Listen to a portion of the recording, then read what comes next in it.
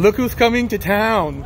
oh my god. Fitness Olympia champion. Oh yeah. Hi. Hi, Finally. I know. We get to have you on JTV after I'm all this time. so pumped to be on JTV. I'm a subscriber. Um, I'm really, really excited to do this with you. What an honor to have an Olympia champion such as yourself today. You've been coming to Vegas here and there. You come to Vegas quite a bit. Yes. And you always come for a day. So I should tell you, please let me know next time you come. Yeah. And you did. You told me at the, at the beginning of the month. So we're going to film today for the first time. Yep. So excited. I'm freaking pumped. I'm here for two days, so let's do this. All right. Let's get in there. Hey, Miguel. Welcome to the Dragon's Lair. Old pals. Torture room. Miguel. Gail told me a bunch about you. And I was like, oh, I gotta meet her. Because oh, she's gonna be in on Oh,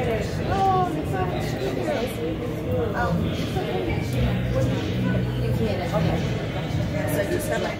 All right, guys, Dayman Max 6, we're back at the Dragon's Lair, and I have the great pleasure and honor to have the champ, Fitness Olympia, uh, Missy Truscott. Welcome to uh, the Dragon's Lair and on JTV, finally. Yes, finally. Thank you, David. Appreciate it. And I'm so pumped to be on JTV right now.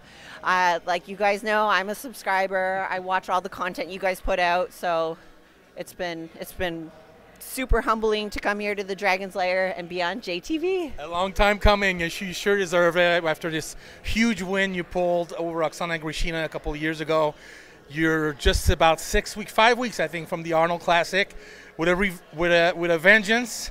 Uh, there's a little story that Jay told me on the side that I want to bring up with this contest coming up.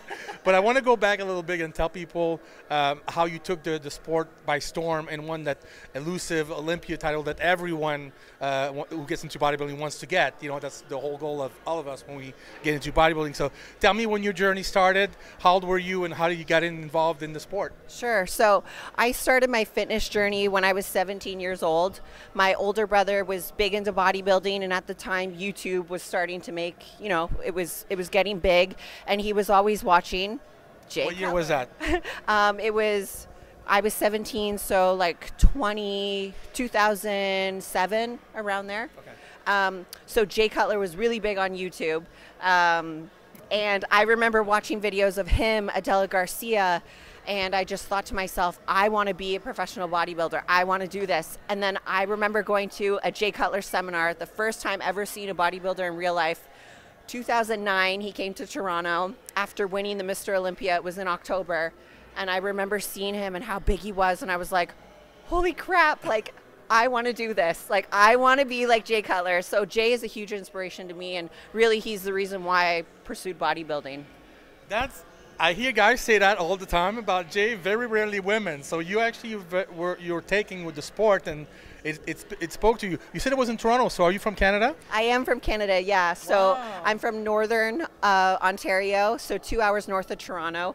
Uh, grew up in Midland, Ontario. So I did drive like three hours in a snowstorm to see Jay in Toronto. but you know, whenever he came to Canada, I was always there waiting in line. Little 17 year old Missy, you know, little scrawny girl, but he was just a huge motivation to me. And still to this day, Jay is the GOAT, right? Yeah, still today. were you an athlete? Were you into sports when you were in high school or before you got into bodybuilding? Yeah, so I was a gymnast uh, for many years, and then I also was a competitive cheerleader. Okay. Yeah. So that's perfect for you. That, that fitness and and who you talked about Edgar Garcia is that who you were looked up you looked up to back in the day? Who were some of the, the people inspiring the female in the female side of the sport? So uh, Adela Garcia, obviously number one, um, and then we have um, women like Kelly Ryan back in the day. She was, was great. amazing. Yeah. She um, have won the Olympia at least once. Agreed. Agreed. Yeah. Um, uh, Jen Hendershott, someone I've really great. looked up to. Yeah, amazing. Tanji Johnson. So you know, I've had really, really great women to look up to, and um, I found as I evolved in the fitness division, I wanted to bring that degree of difficulty up higher because a lot of the women weren't throwing like big skills on stage. You know, it's hard. We're depleted. We um, manipulate our water and our food to get that shredded on stage. But I thought to myself, like, I need to step it up here. And I believe I did that at the every show I enter, I step it up every year. So you can guarantee this year's Arnold, I'm going to be stepping it up. Tell me a little bit about um, about beating Oksana Grishina because I was there when you won the title the first time. First of all, on that year it was very nail biting because they actually announced her first, and then you're like, wait, wait, wait, we made a mistake. So how did you feel when that happened? I want to I want to know about that because that's got to be crazy. Yeah. So um, at the time, you know, there was a lot of confusion on stage. Yeah. I knew that I nailed my routine and I was first place in the physique round. Um, and there's human error with fitness. I mean, we are getting judged in the morning at prejudge, and then we are getting judged at the nighttime. There's math involved. There was a mathematical error no big deal. You know, you just smile and get through it. I, I knew I won. I knew I won that show. Can you imagine? But but it's like okay, when you know you won, you're like, okay, wait a second, I thought I won, and, and, then you get like second, and I'm like, okay, so anyway, I thought it was. I, I, have a lot of respect for you because you know I'm a huge Oksana fan. Yes. I have been for years. I've done many videos with her. It's not easy to beat the champ, and she was probably one of the best that's ever competed, I think, in the fitness division, although all the names you mentioned were great out as well. So for you to beat that, that was a huge achievement. How did you feel that day? Oh my God, it was amazing. That's um, what we live for, right? As bodybuilders, we all want to win the Olympia. And, you know, I did that. I won the Olympia. I'm a two time champ of the Arnold Classic, um, going for number three this year. So, uh, you know, I'm, I'm blessed to be living my dream as a professional bodybuilder. And, uh, and I'm, I'm proud to see the fitness division really exploding. Um, I have about 10 fitness girls right now, amateur athletes in the fitness division. Um, three of them are competing at the Arnold Amateur this year, and I'm super, super proud to be a part of their journey too. So, fitness is blowing up, and I, am here for it. Um, when did you move to the United States from, from Canada? What year? So, I moved here back in uh, like 2013 ish kind of going back and forth. And then um, I met my husband in 2018. We got married in 2019, and we've been together ever since. And you live now in Washington, right? Yeah, Washington. Yep, Seattle. Why not somewhere uh, warm?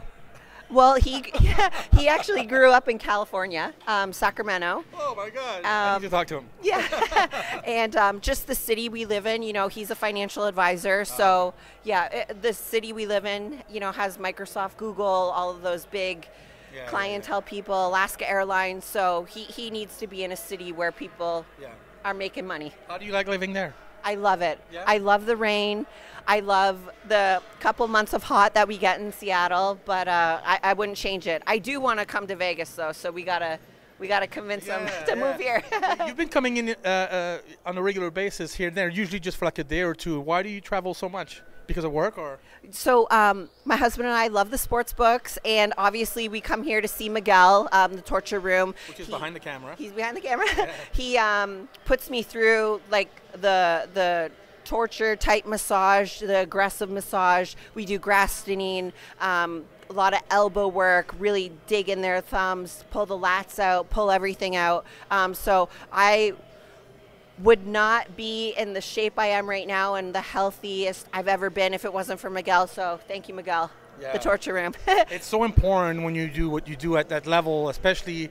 Uh, I mean, not just bodybuilding, but fitness, because you guys take a lot of tumbles, yes. you take a lot of a lot of wear and tear on your body, so you have to keep up with that. Otherwise, that's when you get injuries and so I'm glad you mentioned that. For sure, yeah. So we come here to Vegas to see Miguel. Obviously, we come to train at the Dragon's Lair to see Flex, um, and then we love the sports book. So we're we're in and out in a couple days here. did you want to always? So you said you got into bodybuilding when you were about 17. Uh, what did you want to do before you knew you could actually make a living at that? Because not everybody can make a living. We all want to do that, especially when you love the sport.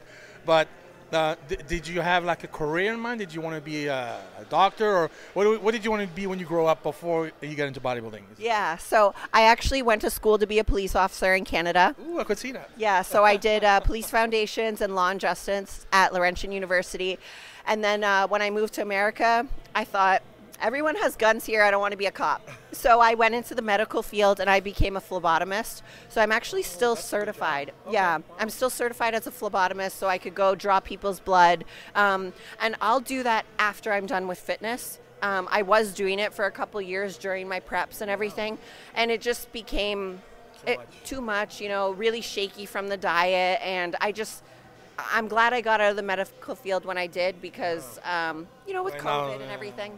Yeah. So I'll go back to it at some point. Yeah. How much longer you want to do this, Missy? You seem to be on a roll.